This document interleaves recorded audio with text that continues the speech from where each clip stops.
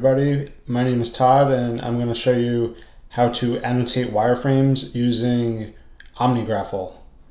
So here I have a design that I got from the design, uh, the designer on our team, and the goal of this is to create groups and filters so that our users can uh, filter YouTube, Twitter, Facebook, uh, and Instagram and Snapchat data uh, that we get through the API. Um, so to do that, what I do is start chopping up this um, wireframe design, whatever you want to call it. And to do that, we're going to take this screenshot of, let's see, down here.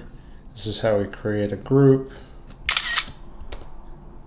how they build the list. We'll just take some screenshots and designers uh, have an interesting way of explaining things.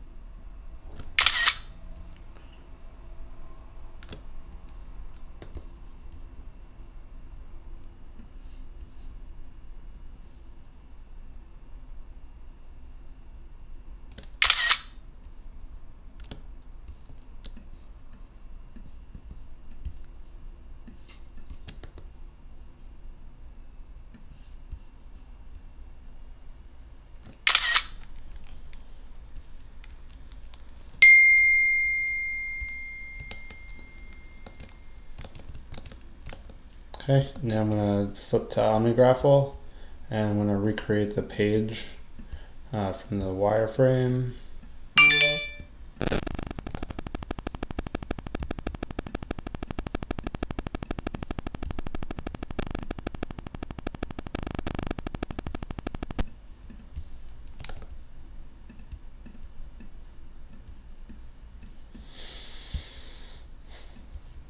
Okay, and I'm going to la label this screenshots.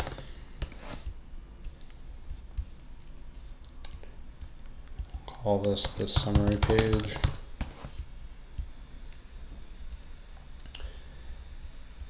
Now I'm going to create another layer. So to do that, I right click on the canvas and I click new layer and while, while we're at it, I'm going to create a shared layer.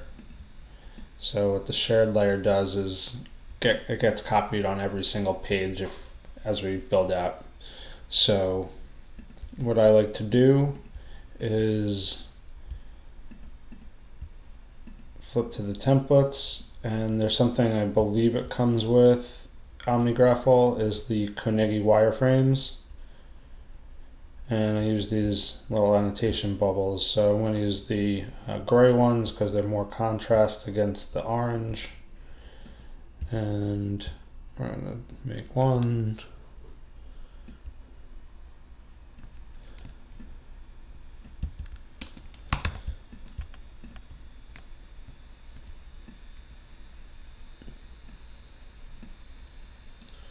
Okay.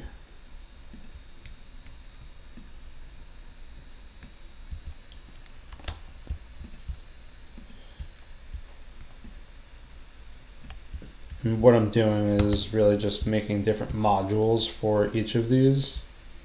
So one is this top section, two is this section over here, three will be this, basically everything that has an orange title uh, is going to be a new component. So by that, uh, I mean if you're part developer, um, basically each one of these little modules is going to be its own HTML file that will get imported into a bigger template for this summary view.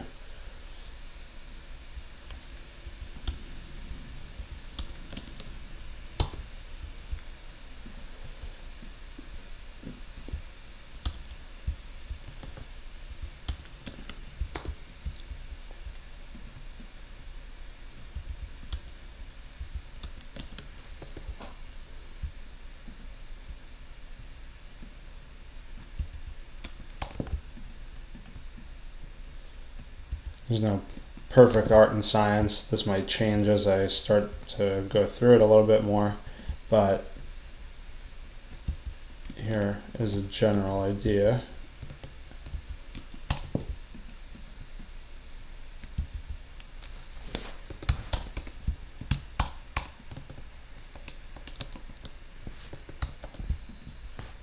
Okay, and then what I do next is just make the legend. So I usually start by doing something like this, making a box, making some text. Uh, we'll call this the summary view.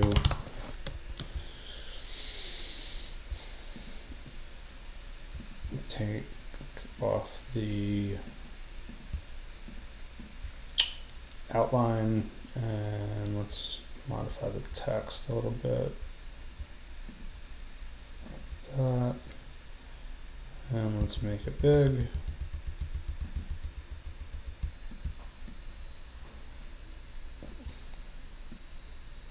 Okay. Let's make another one. I'll make this like 18, 16.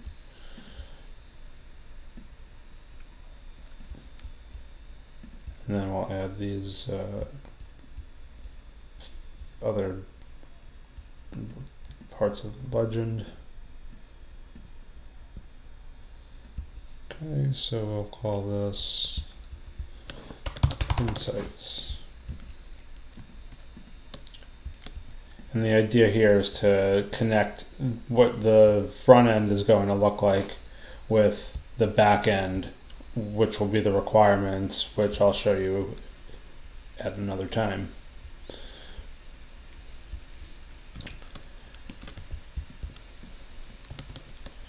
Then you can select them both and there's a little trick if you click the hold the option button and then click and drag you can copy everything that's highlighted.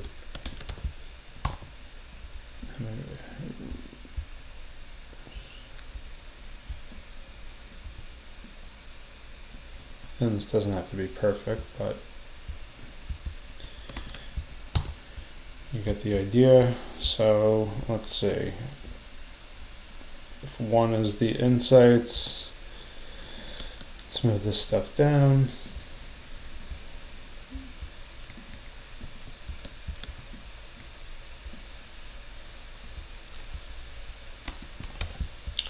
Let's call this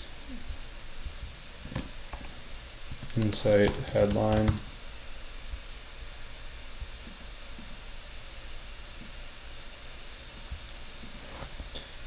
Uh, there's actually a couple things going on we could do. One one, which is the timestamp. Make that one two. Uh, make this one three.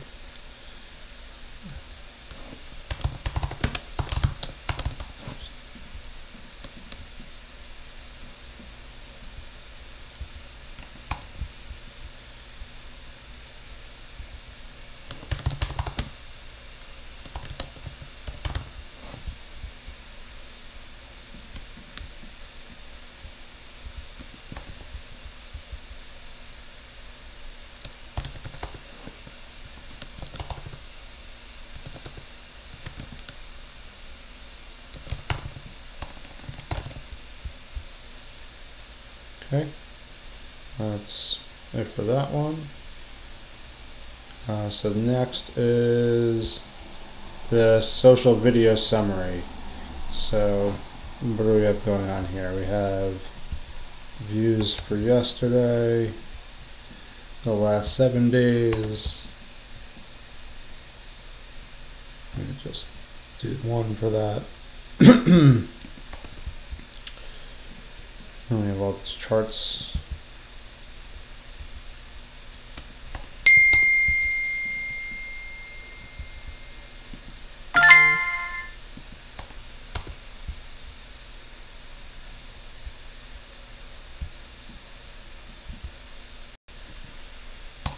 We'll come back to that later.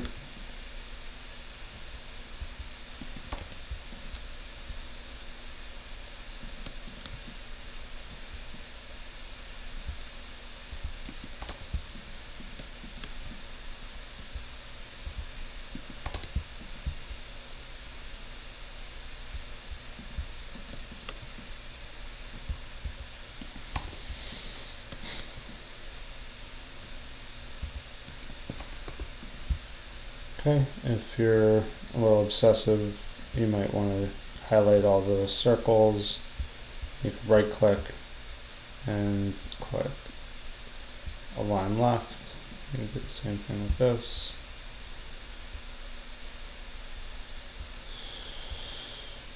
Okay, so this is the social video summary.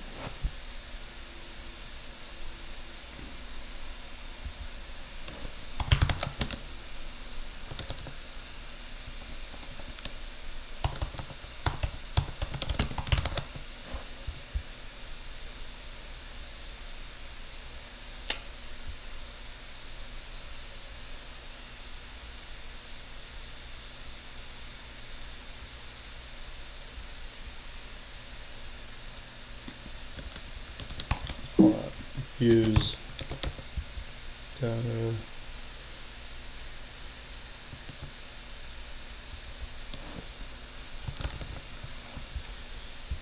This is actually kind of the same. Just leave it for now.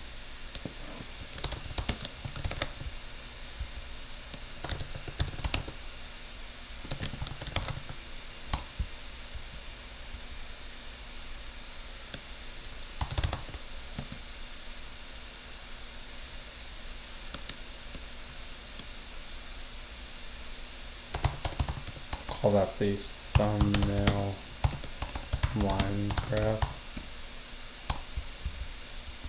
Two four is the use bar chart. Two five is reactions and likes. So something we can do, like I said before, if we duplicate this, You'll see this shared layer if I edit it here. So if I delete that, it's deleted. If I undo it, go back to the summary, it's back.